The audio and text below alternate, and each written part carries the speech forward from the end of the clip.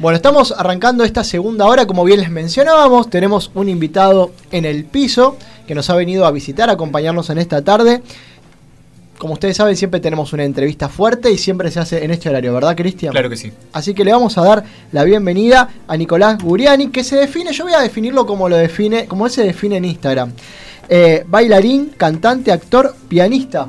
¿Está Toco el piano, sí. el piano. Sí, empecé mi carrera. Bien, y así arranca un poco esta, e, e, esta definición de Nicolás, pero le voy a hacer, le voy a, vamos a jugar un poco con Nicolás en este punto. Nicolás, buenas tardes primero. Hola, ¿cómo están? Eh, un placer estar acá. Y para no quedarme fuera del grupo, yo, también te extrañé. Hace ah, tres muchas gracias. no estás, pues si no. Sos seguidor del programa. Si no, como que siento que me quedé afuera de todo esto. Muy bien, muy, mucho, alguien más que me extrañó. Ves que no es del programa, qué emoción. Nico, te hago una pregunta. Vos, bien, como acá vos te definiste, definís, bueno, con todos, todos por ahí tus trabajos artísticos, cantante, bailarín, actor, pianista. Sí. Pero acá siempre nos gusta saber cómo se definiría el, entrevistado, si se tendría que definir. ¿Cómo se definiría, ah. cómo se presentaría Nico Guriani si tendría esa posibilidad de hacerlo? Mira, lo que pasa es que uno, yo creo que va, no es lo mismo cuando empecé a los cuatro años que ahora.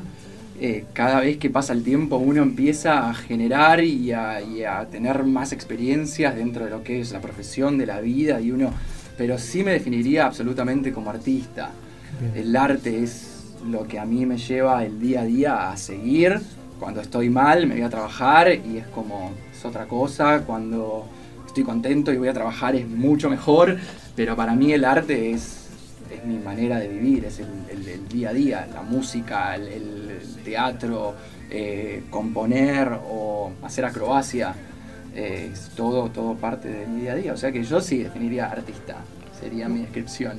¿Artista que se fue despertando desde chico, Nico? Sí, absolutamente. Yo empecé a tocar el piano a los cuatro años, la verdad que era Beethoven, pero sí empecé a estudiar piano a los cuatro años, porque uno dice empezó a tocar el piano a los cuatro, no, empecé a estudiar piano a los cuatro años, fue así una situación de que, aunque no lo crean, fue una cosa del colegio que dijeron, no, este chico es muy tímido, que vaya a hacer algo artístico. Y ahí empecé eh, con el piano y después empecé a estudiar órgano, hice toda mi carrera en Yamaha eh, las academias Yamaha acá en Argentina, este, haciendo muchos conciertos, ganando competencias y esto y lo otro, y después, a los 15 años, me agarró un ataque de cambio de la vida y dije, no quiero más esto. Y mi vieja me dice, che, mira, está este curso de comedia musical con el maestro mío, que lo llamo Pepe Cibrián. Eh, ¿Tenés ganas de ir? Dale. Y ahí fue cuando empecé a estudiar comedia musical con, Pepe y ahí empezó todo un cambio en mi vida. De golpe empecé a trabajar con él. Eh, a los 15 años de golpe tener tu cuchito de plata era un montonazo para uno a los 15 años y esto hace ya muchos años atrás también. Y después eh, conocí a muchos maestros más como el gran maestro Ricky Pashkus, que fue mi primer maestro de jazz. Eh, Karina Vargas, que hoy en día es coreógrafa de Disney acá en Argentina, increíble, maestra, amiga mía, yo le digo tía. Eh, después conocer a Nadia Freedom, que fue mi profesora que me enseñó del ballet, que fue la que me hizo entrar al Colón.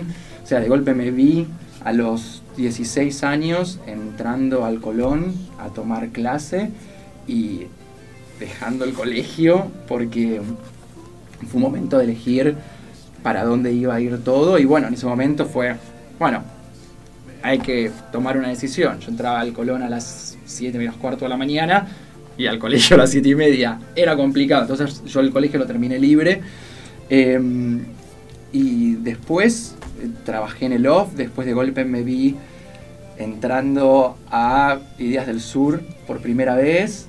Y así, así uno va creciendo y uno va de, de un momento eh, me vi en Estados Unidos estudiando en una facultad, que me gané una, eh, un estudio de seis semanas en Estados Unidos, después mi primer viaje a New York a estudiar, a Los Ángeles, de golpe acá en Buenos Aires haciendo teatro en calle Corrientes.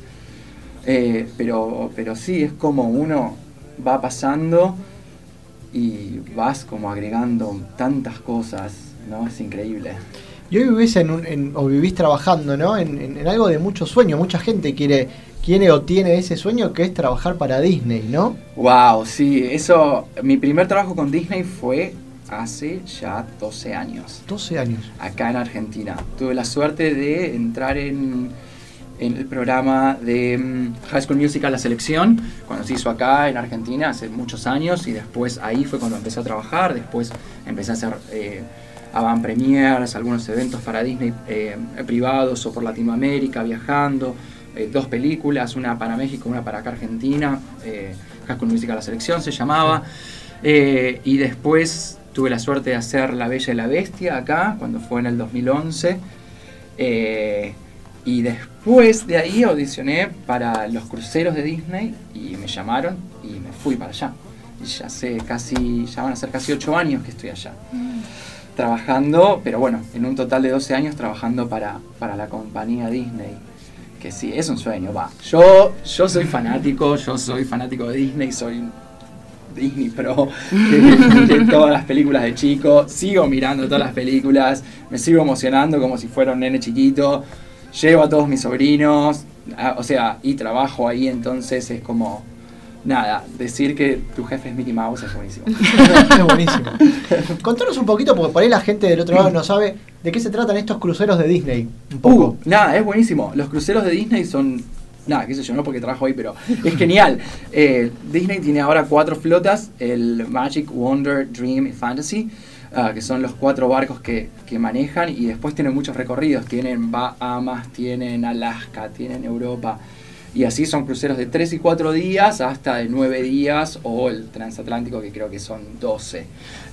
Pero en donde eh, viven la experiencia de lo que es las vacaciones en un crucero, que no es algo normal, si nunca lo hiciste es una experiencia totalmente distinta de vacaciones. Y encima en estos cruceros está toda la experiencia Disney, ¿no? obviamente.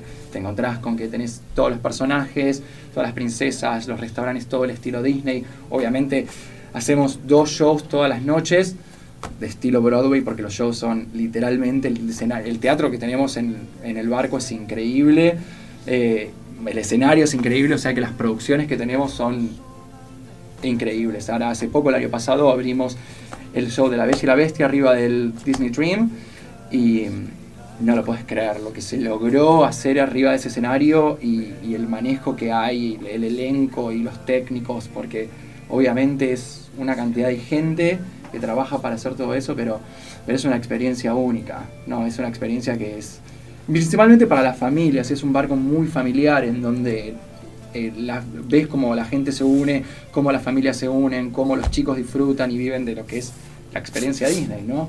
Ver una nena de 3, 4 años vestida de princesa que llega a conocer por primera vez a Cenicienta. Y eso lo vemos, o muchas veces, no solamente los chicos, muchas veces ves gente grande que capaz que es la primera vez que logró juntar la plata y logró ir al barco y que se emocionan y, que- que viven la magia también desde ese lado, de conocer a, a su princesa favorita o a su personaje favorito y que, y bueno, nosotros también ayudamos a, toda esa conexión, eh, este, ayudamos a los personajes ahí, sacarse fotos y, que puedan tener una interacción mágica con la gente, eso también es, es parte de nuestro trabajo y bueno, es, creo que, no creo, el objetivo de Disney es crear esa magia y, y que la gente pueda vivirlo desde esa manera, ¿no? Uno piensa en Disney y automáticamente piensa en un lugar donde es mágico, como bien decías Nicolás, donde pareciera que todo está bien. Y vos por ahí lo vivís del otro lado, del lado de adentro, donde vos sabrás a lo mejor las exigencias que esto conlleva, por ahí estar alejado bastante tiempo de la familia, de tus afectos.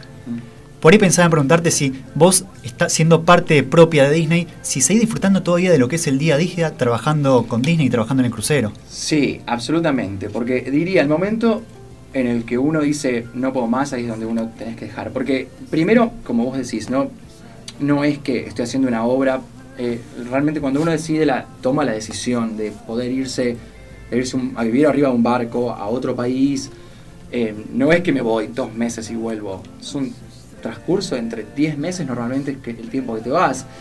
Entonces sí, a veces uno extraña, pero por suerte tenemos todo esto que es genial para contactarse con la gente, no es que tenés que escribir una carta y mandarla.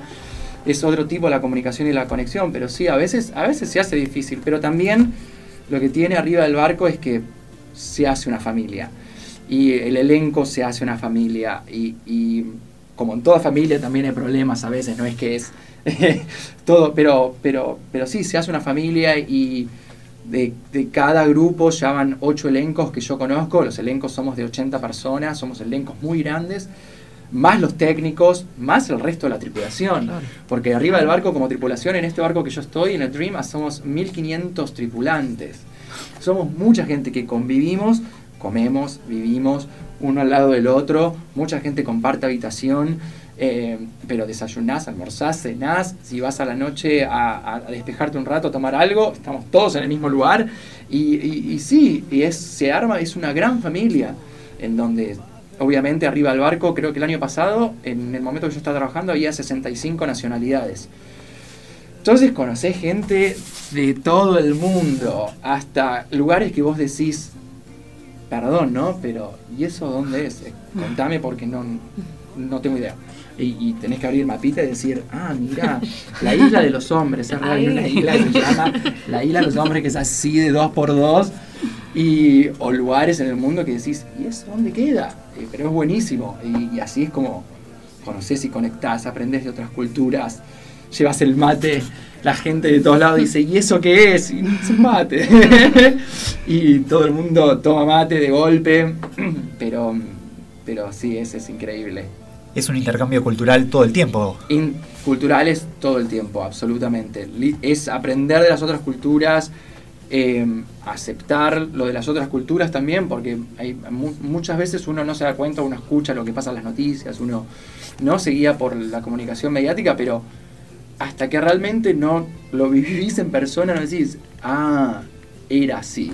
Entonces también pero también ayuda mucho eso al, cambio, ¿no? Eh, y uno crece también como, como persona, también muchas veces, porque al tener que de golpe aceptar cosas que no son normales para vos y que cuando estás en un ambiente de trabajo, es acepta o acepta, porque después si no, tenés que moverte, porque no, no es que te obligan a cambiar vos tu personalidad, te obligan a cambiar tu religión, te obligan a cambiar eh, muchas cosas. Entonces uno aprende a aceptar y a relacionarse con cosas que capaz que vos no estás de acuerdo, pero sí o sí eh, aceptás a convivir con eso, aceptás a, a, a, estar constantemente y a tener una buena relación de, de, trabajo, capaz que no van a ser tus mejores amigos, pero sí de respeto, de creencias, de, de situaciones en donde generan, generan un buen ámbito de trabajo y después con el tiempo hasta poder llegar a terminar siendo amigos, con, sabiendo que están esas situaciones, ¿no? Yo pensaba, recién vos comentabas, estás viviendo en Estados Unidos, podemos uh -huh. decir técnicamente, ¿no? Eh, y hay algunos actores que hemos entrevistado acá al aire que también viven en Estados Unidos, como Ignacio Cerriquio, que vive en Los Ángeles, Nicolás Picardo, que vive en Nueva York, que comentaban siempre que, que el tema del lenguaje, se te ve que pronuncias bien el, el inglés, pero el tema de, del idioma se torna muchas veces una barrera para ingresar en el mercado norteamericano, ¿no? Pero es tremendo. Mirá que yo hice desde los cuatro años hasta los no sé cuándo todas las clases de inglés en la escuela de mi tía, todo, absolutamente todo. Y llegás allá y empezás a hablar y vos decís, no sé inglés. no sé inglés, no entiendo lo que están hablando. ¿Qué hago acá? Y lo primero que decís es, ¿qué hago acá? ¿Cómo sigo con esto? Se te viene a la cabeza todo eso. Pero es como, y, y eso lo aprendí, es el primer día que llegué uno no termina de aprender el idioma que está estudiando hasta que no vas y convivís en el país en donde hablan ese idioma. ¿Por qué? Porque ponele cuando. Incluso le pasa a la gente cuando yo empiezo a hablar en español. ¿Qué estás diciendo? Te dicen, capaz que me dicen, no, no puede ser que no te entiendas. Si hace cinco años tuve cinco años de español en la facultad, ¿cómo puede ser? No, lo que pasa es que te encontrás con distintos acentos. Imagínate que Estados Unidos tiene una cantidad de acentos, un montón de regiones tremendas. Entonces, escuchar los acentos, el slang, que es como el lunfardo nuestro, palabras que no se usan y nosotros aprendemos de librito. Entonces, cuando llegas allá tenés que desestructurar todo eso que uno tiene para poder aflojar y pero pero pero sí, después el acento es práctica, porque porque sí, no, es, es a mí me llegó, me llegó y todavía me siguen cargando muchas veces con que dijiste, o, o, me dicen, Nico, esto sí no se dice. No razón, no es verdad. Pero, pero sí, es, es, es una barrera que uno tiene que pasar y normalmente a uno le pega como... Es, es complicado cuando de golpe te ves en una situación en donde tenés que trabajar, tenés que cumplir un horario, vos estás trabajando y de golpe no, no terminás de, no terminás de entender o tratás de comunicarte y no, no te sale las palabras porque también uno se pone nervioso, es como gente nueva y después cuando aflojás ya está, no importa, decís lo que decís y ya está, hay que empezar. Vos recién hablabas de este constantemente seguir aprendiendo, en este caso puntualmente de un acento, un idioma, pero me imagino que también en todas las disciplinas que vos te desempeñás, también es un constante capacitarse y seguir aprendiendo. Y me preguntaba cómo sería eso viviendo tanto tiempo arriba de un barco, ¿no? Es wow. verdad. Muy buena pregunta. Wow, es, es, es algo muy loco. Eh, desde que estoy en el barco, yo aprendí a hacer parada de manos, así aprendí a hacer anillas, aprendí a hacer cuerda española. eh, estoy sacando certificaciones para personal trainer. Ahora, eh, el miércoles me anoté en la facultad, empiezo la facultad a distancia, o sea que ahora tengo cuatro años de facultad, nada que ver con el arte, empiezo a estudiar nutrición, pero porque uno, uno busca cosas nuevas para hacer, ¿no? Que uno de golpe dice, "Eh, mira esto, qué copado, a ver, y te anotas a la facultad y decís, ahora cuatro años estudiando. Pero eso es otro tema. Eh, pero sí, no, no, no, el, y es algo que yo, pero se lo recomiendo a cualquier persona en el momento en el que decidís hacer algo de tu vida. Que estas cosas, ¿no? Cuando uno se pone a estudiar o cuando te pones a practicar cosas nuevas, yo ponele, hago todos los días, yo voy al gimnasio cuando trabajo dos veces por día, hago mi clase de ballet, elongo una hora, termino de hacer los shows y vuelvo a elongar, porque primero que no tengo 20 años, y después hay que mantener el cuerpo. Uno cuando, se dedica a esto realmente tiene que prestarle mucha atención a lo que el cuerpo te pide, a cómo mantenerlo, a tener un cuerpo sano. Eh, pero eso es lo que viviendo arriba de un barco también te hace sentir una persona normal. ¿no? ¿A qué llamo eso? Que, que es real. Eh, si no, terminás teniendo lo que yo llamo eh, cabin fever, que es la gente que vive adentro de su cabina, que no sale, que sale solamente para trabajar, vuelve a su cabina y terminan con la cabeza quemada. Claro. Porque no, no es fácil vivir arriba de un barco donde, más allá de que no tenés a tus amigos, no tenés a tu familia constantemente, muchas veces no tenés a tu pareja, no tenés a tus hijos, porque he visto padres que trabajan arriba del barco para poder mantener a sus familias. Pero mm, sí es, es una cuestión de que uno cuando hace esas cosas te sentís que estás haciendo algo por vos. Nosotros estamos entre 6 y 8 meses arriba del barco. Y yo siempre a la gente nueva le digo, no termines el contrato sin aprender algo nuevo. No termines el contrato sin aprender algo nuevo. Entonces, ¿qué podés hacer para vos poder distraerte de los problemas de Porque problemas de trabajo hay, problemas familiares siguen habiendo, problemas de pareja siguen teniendo, pero esas cosas son las que te llevan a poder seguir viviendo sanamente y con la cabeza lo más a tierra, Claro. porque estamos en el medio del agua, más a tierra eh, posible, pero sí. Y yo siempre digo, uno tiene que estudiar de todo. Vos tenés que, ¿qué, qué esto? ¿Qué es esto? Y estudiemos. Y, y uno, porque uno aprende y uno cuando, cuando aprendés te sentís mejor y de lo que sea, ¿eh? Yo, cuando empecé a estudiar para, para, para ser este profesor entrenador físico y todo eso, fue porque había empezado a entrenar por un objetivo mío, por un personaje que yo quería hacer, y después en esto me empecé a copar y, oh, mirá qué bueno esto, oh, mirá qué bueno, y mirá qué interesante, y después cómo lo aplico a la danza, uy, mirá, y ahora estoy recopado y es como parte de, mío también, no es como un sector de costado que está buenísimo. Nico, uno te escucha hablar, ve un poco tu obra, todo lo que hiciste y se da cuenta que sos una persona súper talentosa. Eh, En Yo Quiero Verte le damos mucha importancia a lo que es la vocación, a lo que es el esfuerzo también.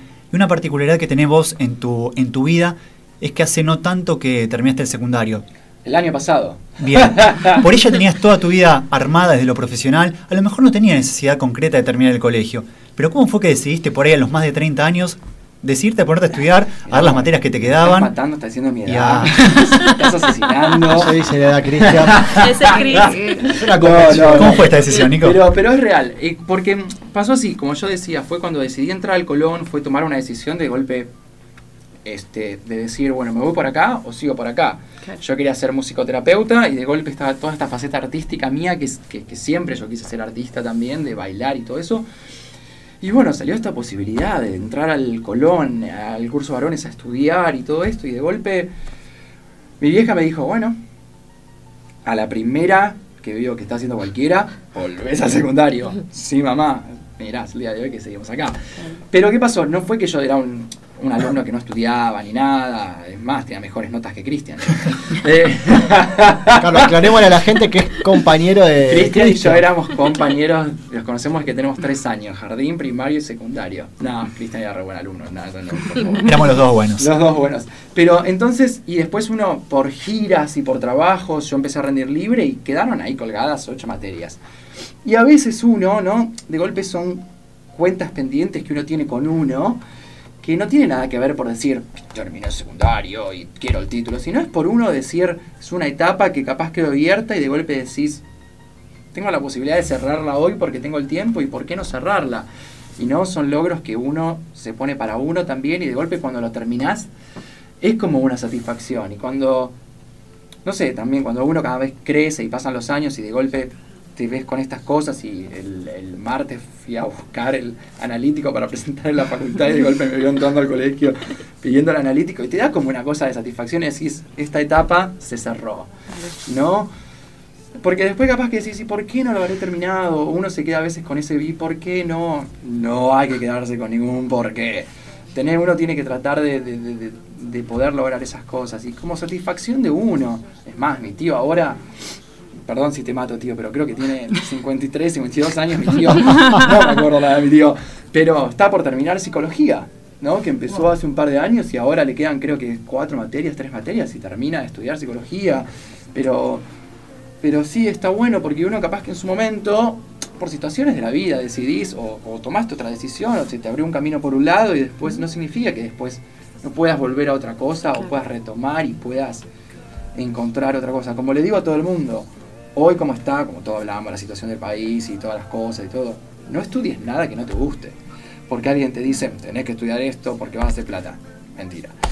Pero sí lo que digo, porque si encima haces algo que a vos no te llena, no te gusta, es, es más problemas que uno se carga o más cosas, ¿no? Entonces si, en- entonces, si podés estudiar algo, podés hacer algo de lo que a vos te haga bien, ya, ya tenés un 70% tenés adentro. De, de por lo menos que vos lo vas a hacer. eh, tengo una amiga que es pastelera y le digo, ¿qué hora te levantás? A las 4 de la mañana y estoy cocinando a las 5 y media, de lunes a, a domingos. Y a ella le encanta. Le digo, yo no me podría levantar, yo no me levanto más a las 5 de la mañana, tiene que ser una cosa. Pero, pero y sí, pero a ella le gusta, y otra cosa, y, y amigos que dicen, no puedo más con la facultad, y no esto y lo otro", y le digo, "¿Y ¿qué haces? Y no, pero tengo que terminar. Y fíjate, capaz que no es ahora, capaz que te tomas un break y volvés.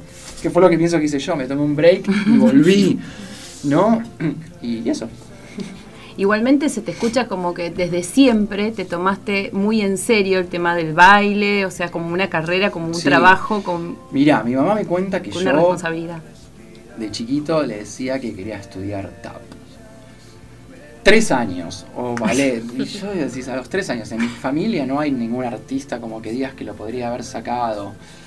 Y, y bueno, y sí, no sé, qué sé yo. Cuando yo creo que también cuando uno tiene eso es como es es una cosa que, que uno lo tiene adentro y de golpe cuando es lo tuyo es lo tuyo. Yo realmente no me vería haciendo otra cosa que, que no fuera esto. Es- sería, yo creo que sería muy complicado eh, para mí hacer otra cosa que no sea con, respecto al arte, porque realmente así es lo que fue. eh, mi, mi vida fue rodeada por, música, por teatro. Yo iba al teatro a ver Drácula o iba a ver La Bella y la Bestia y después, ahora de grande, ir al Colón a ver ballet, a ver a mis amigos o de golpe acabo de volver de Ámsterdam y lo primero que hice fue ir sacar ticket para ir a ver el ballet de Ámsterdam, estuve en Londres y fui a ver cuatro obras.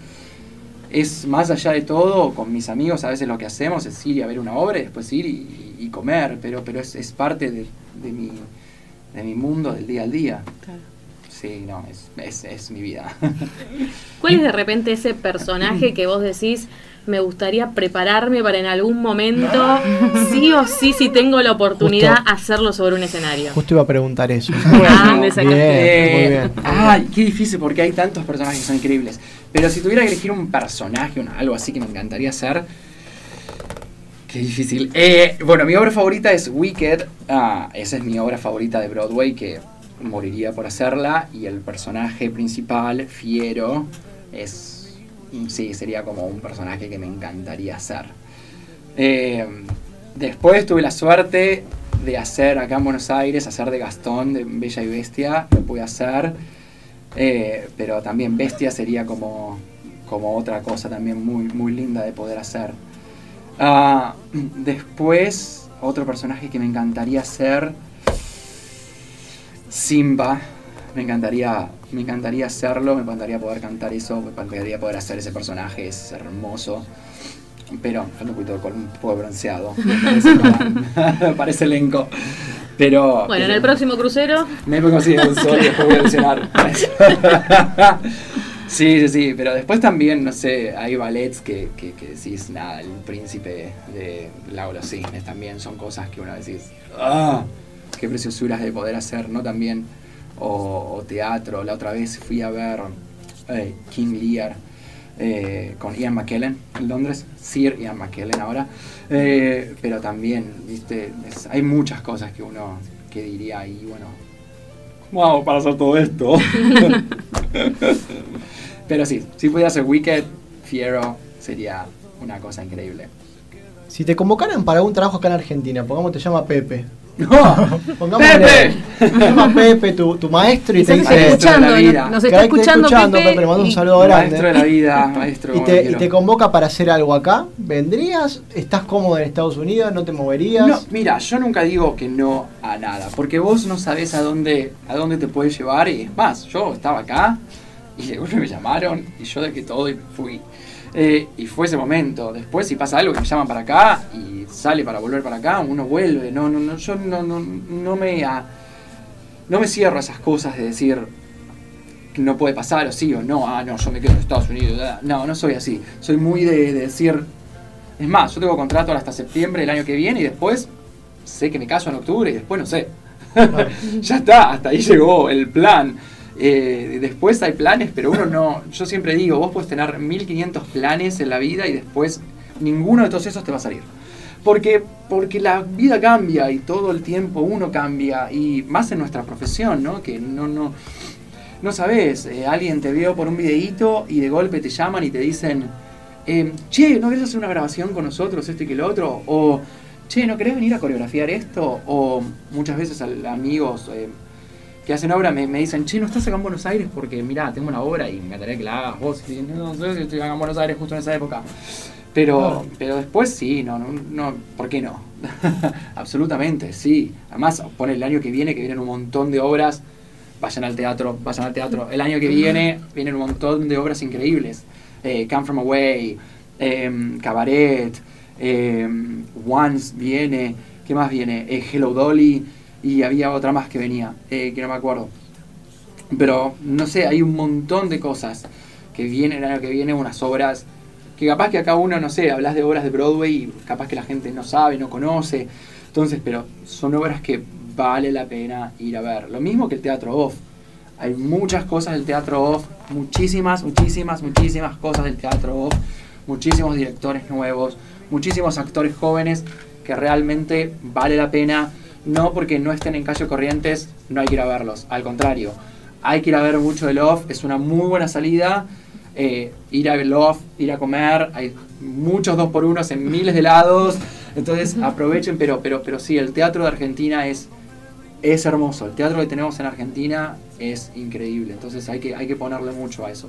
Ana se está emocionando porque esto es lo que hace ella. Todo el año, todo el año. promocionándolo. Pero sí, yo lo que hago, es más, siempre que vengo acá a Buenos Aires, empiezo, ¿dónde estás? ¿Dónde estás actuando? Ah, Bueno, dale que llevo gente, esto y que el otro. Y ahí empiezo a hacer recorrida de teatros y empiezo a ver a mis amigos y empiezo a ver obras o gente que, que no sé ni quiénes son, porque es gente nueva, joven, que empieza a crear cosas nuevas y de golpe decís, ¡qué bueno esto! Y lo recomendás y también hay cosas que decís, ¡uh! Pero también lo recomendás porque hay que recomendarlo, porque capaz que a mí no me gustó y a otra gente le encanta. Entonces, no, lo que yo siempre digo, lo malo, no lo malo, lo que a vos no te gusta, también hay que recomendarlo, porque capaz que a otra gente le encanta Claro. ese estilo, es una cuestión de gustos.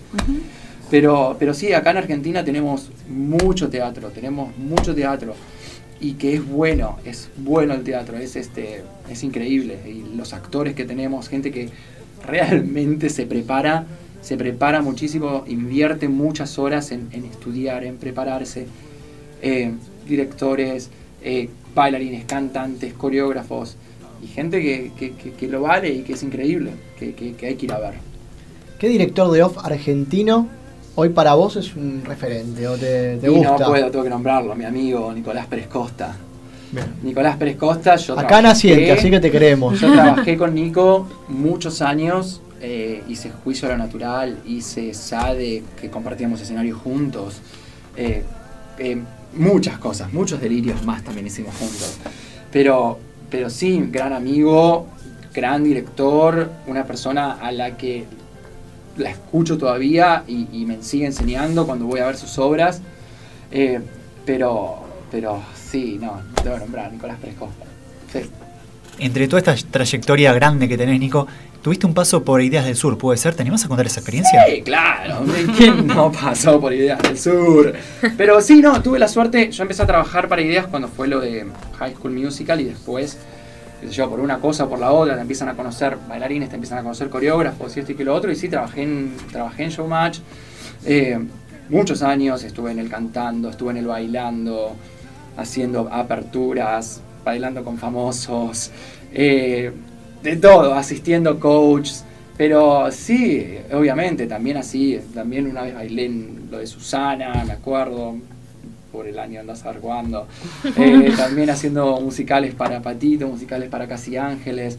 Pero sí, eso es lo que tiene, ¿no? Una vez que, que, que, que vos podés entrar en lo, que es, en lo que es el medio y te empiezan a conocer y ven cómo trabajás y, y una cosa lleva a la otra y sí, nos empezamos a conocer y los coreógrafos está copadísimo, nada, no, gracias a Dios, me llamaron siempre. Y, y- pero sí, sí, sí, pasamos por, por, por el piso de ideas.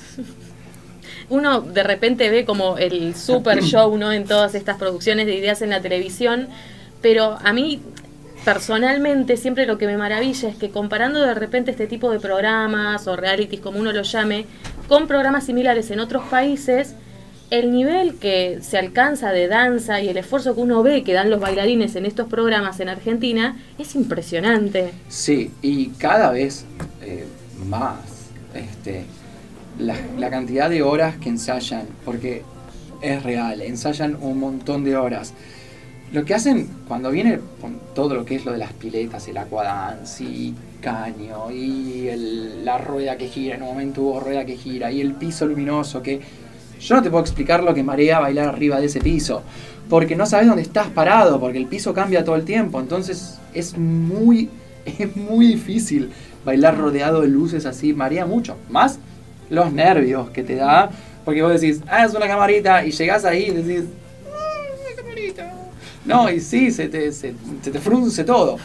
Pero, pero, pero sí, la, y, la, y muchas veces, eh, cada vez, obviamente, el jurado se pone más exigente, la gente que se pone más exigente, porque hoy escuchás a la gente como habla de danza como, como si supiera y porque saben más, pero porque ven el bailando, porque lo tienen ahí enfrente, entonces escuchan cómo la gente opina, saben de nombres de pasos de danza que antes capaz que no sabían, pero eso es por una comunicación que tienen con la televisión y que lo que trajo todo esto, este mundo ahora de showmatch, que ya hace cuántos años que está esto bailando, muchísimos.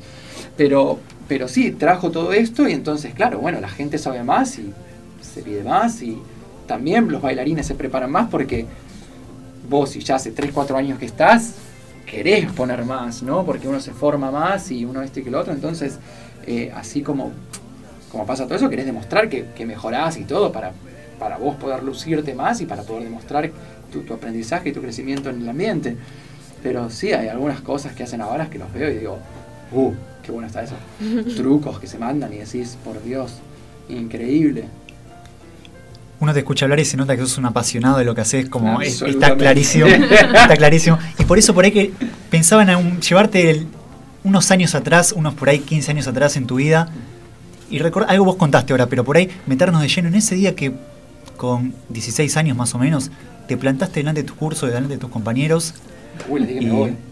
y dijiste, chicos, dejo el secundario, voy a, voy a hacer tal cosa. ¿Te acordás de ese día? Y por ahí, Sí, claro. si querés contarnos también si por ahí en algún momento te arrepentiste de esa decisión. Ah, creo que fue en una clase. Esperá, espera, espera, yo me acuerdo. Creo que fue en una clase de lengua, si no me equivoco, ¿eh? Que yo le dije a la profesora, no les digan nada, yo les dije, no les digan nada al curso, quiero hablar yo, porque a mí me dijeron, para vos quedar libre tenés que venir dos semanas, así tenés una cantidad de presentismo y después quedas libre. Bueno, entonces tengo que ir. Y después fue como, bueno, tengo que contar a mis compañeros que a muchos los conocía desde los tres años, a muchos desde hacía tres años, pero igual, pasamos, nada, eran mis amigos, eran mi gente, y esa edad, 16 años, teníamos 16 años, éramos nada, éramos pibes. Y, y bueno, y sí, y ahí fue como decir, bueno chicos, pasa esto, y hubo llantos, hubo gente que se enojó, hubo gente que lo reentendió, igual. Pero como todo, en esa edad tenés un montón de emociones y no sabés, no controlas nada. Eh, son emociones y te salen. Después uno de grande le sigue pasando, imagínate que uno cuando uno es chico. Pero nada, todo, todo fue increíble. Mis mejores amigos siempre me apoyaron y estuvieron conmigo. Muchos me vinieron a ver al teatro, muchos te vi en la tele, no puede ser, mi mamá está loca mirándote, me acaba de llamar, ya me mal. Y sí, me han llegado miles de mensajes. Pero no, arrepentirme nunca. Yo creo que, que, fue, em, en ese momento fue la decisión que tenía que tomar y hoy no me arrepiento, no me arrepiento de, de eso. Es, es este... Pero también porque sabía que no era, no era un capricho. Yo siempre, siempre, siempre tuve eso de, de darle para adelante. Yo eh, a los 10 años mi abuelo falleció, que era que me llevaba a estudiar piano a Florida y Corrientes, y después no había nadie que me pudiera llevar, y yo me tomaba el 106 diferencial, sentadito hasta el centro, iba solo, volvía de lunes a lunes, porque tenía que hacer, dar conciertos, iba todos los días. Eh, iba a inglés, natación, el colegio, y yo me movía, y después siempre tuve eso de, cuando tomaba una decisión, le daba para adelante y, y pum, pero, pero yo sabía que, iba a hacer algo con el arte en mi vida. Después cuando salió todo esto y cuando empezó a pasar, sí, yo dije, esto es. Y cuando entré al Colón, y era como, fue increíble. Y después trabajar y después em, encontrarme que, que, uno pasa. Sí, obviamente, no, es como una eh, roller coaster. Eh, una montaña rusa. Eso, gracias. Eh, como una montaña rusa donde tenés momentos en que decís, ¿qué hago acá? ¿Por Y después tenés otros que decís, sí. Pero, pero la vida es así, ¿no? En, todos esos momentos de sub y baja. Pero lo bueno que está es que cuando salís de esos momentos es genial y cuando volvés a bajar tenés que subir otra vez. Y bueno, es, es así. todos los tenemos y en la profesión también pasa mucho. Yo siempre lo digo, es el que decide ser un artista, el que decide ser un bailarín, actor, bla, bla, bla, bla, tenés más nos en tu carrera que sís. Entonces es uno en donde se acostumbra, en donde mochilita, pum, audición, no, muchas gracias, porque no podés irte eh, enojado y puteando, porque capaz que a la semana siguiente tenés que volver y las mismas personas te están tomando la, misma, la, audición para el próximo trabajo. Entonces, siempre es, eh, es una profesión en donde mucho esfuerzo, mucha transpiración, mucho dolor físico, porque el que dice que no le duele es mentira, duele y, sacrificio, pero lo vale. O sea, no, lo, vale, uno, uno lo llena, porque es algo que si lo haces es porque te gusta. Entonces, cuando, cuando vos lográs, cuando vos llegás a esos lugares, eso es lo que tiene. Cuando llegás a ese lugar que vos tanto querías llegar, es una satisfacción que no te la saca nadie. La primera vez que bailé, bailé en el Luna Park frente a 6.000 personas se me caía la ropa así solo porque yo de temblar. Esa fue la primera vez que yo bailé en un escenario. Recuerdo la primera vez que toqué el piano, y siempre me pasaba, ¿no? Yo me sentaba a tocar el piano y tenía dos segundos en donde yo estaba así, y los pies me temblaban, no podía ni ponerlo en el pedal. Entonces yo siempre, hasta ahora también, si tengo que tocar un concierto, me pasa igual, siempre. Es un momento en donde haces. Apoyaba las manos y ahí empezaba a tocar. Y mi primer concierto, se me acuerdo, era así, una pulga así, con tiradores y moñitos, porque me encantaban los tiradores y los moñitos, cuatro, cuatro y medio. Ah. Y tenía, estaba en un piano de cola, que obviamente yo lo miraba y en esa época me eran ocho cuadras, yo sentadito en el piano tocando. Ta, creo que toqué el vals en las flores, que no me acuerdo. Oh, pero, sí, no, increíble. Viviste un montón de cosas desde Teatro Colón, Ideas del Sur, Disney, y seguramente muchas veces apoyaste la cabeza en la almohada y pensaste que estoy viviendo un sueño. ¿Te queda algún sueño por cumplir, Nico?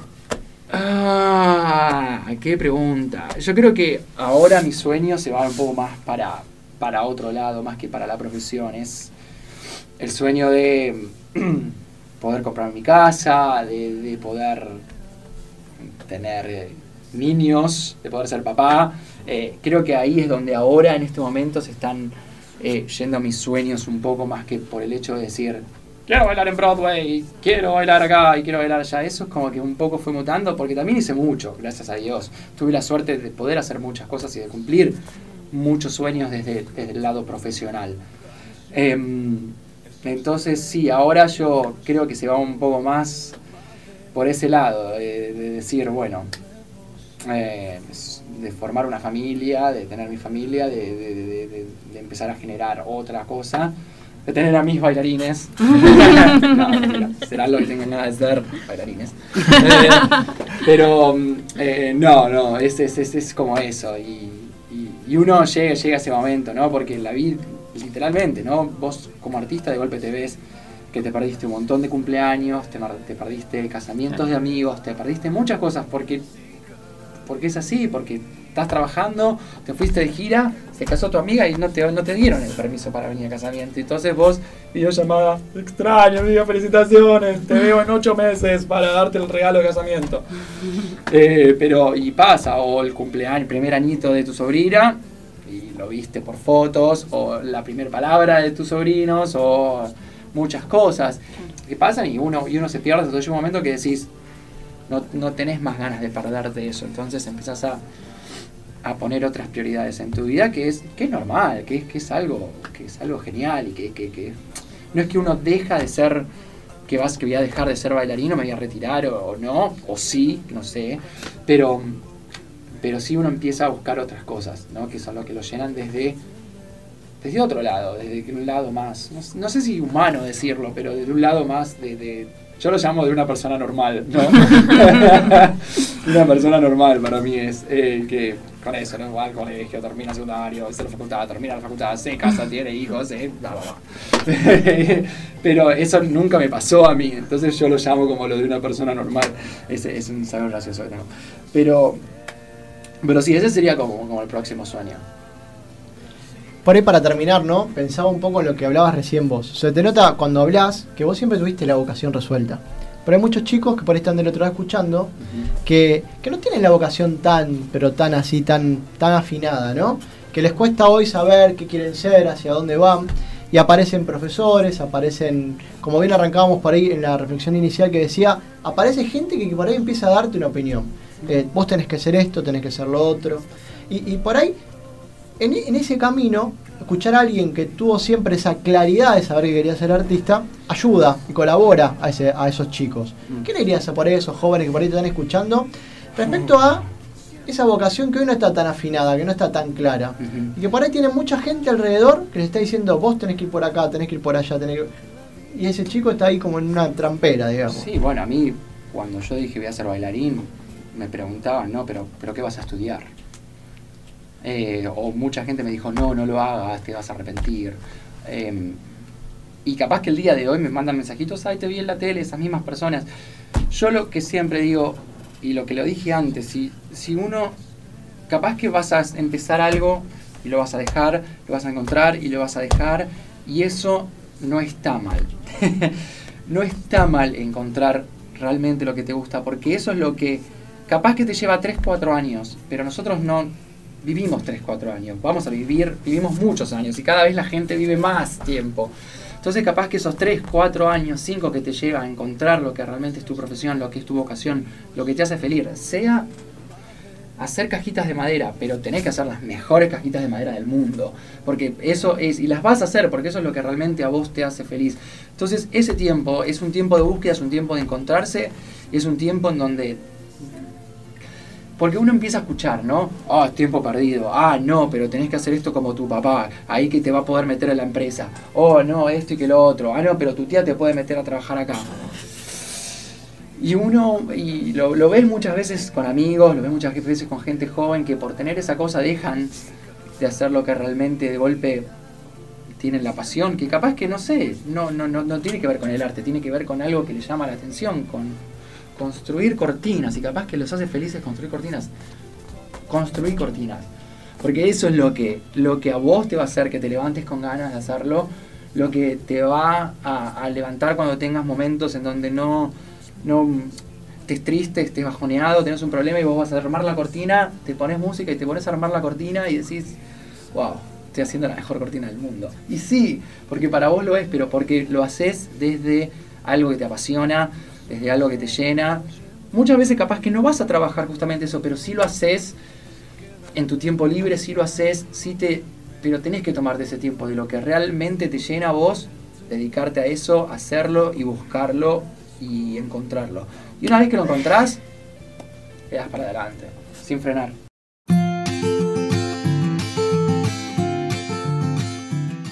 Vos sabés que cuando vos hablabas, vos igual tenés tus contactos acá, pero por ahí cuando hablábamos con Ignacio Cerriquio que te, con- que te contábamos, o, o con Nicolás Picardo, eh, son gente que están como fuera del sistema, ¿no? Porque no están dentro de lo que es el mercado argentino.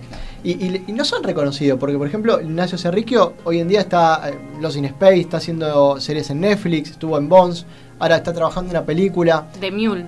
de Mule. Bueno, y no, no es conocido acá en el país, ¿no? Les cuesta mucho, Ni- Nico tampoco, Nico Picardo tampoco. Bueno, vos sí tenés tu- tus conocidos, así que sos una excepción a la regla. Pero sí.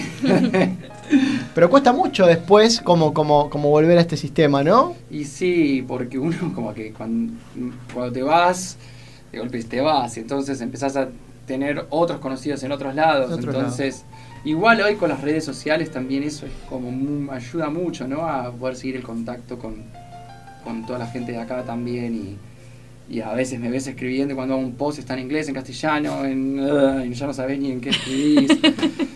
Terminás poniendo hashtag todo, hashtag workout, hashtag dancer, hashtag bailarín, todo es, es un quilombo. Pero, pero sí se complica. ¿Tus sueños seguirían en Estados Unidos o, o querés volver a Argentina? Y yo ahora me voy para Te allá. quedas a vivir allá. Yo ahora me voy, tengo contrato hasta septiembre, así que hasta septiembre del año que viene es allá. Bueno. Después volvemos para acá y visitar a mamá si no me mata. Eh, este, pero sí, vengo ahí justo cuando termino, aprovecho, vengo, visito a la familia, visito a los amigos y todo. Pero después, no sé. Bien. Y ya que te gusta cantar, porque te hemos escuchado Ah, cantar, ¿te animás sí, a cantar algo para cerrar el programa? Por, Por favor. favor. ¿Qué cantamos? A ver. ¿Qué se te ocurre? Lo que se te cantar. ocurra. Hay una canción que me encanta. Podemos cantar un pedacito del estribillo. Ahí va. que dice eh, de tu mano pequeña diciéndome adiós esa tarde de lluvia en San Juan.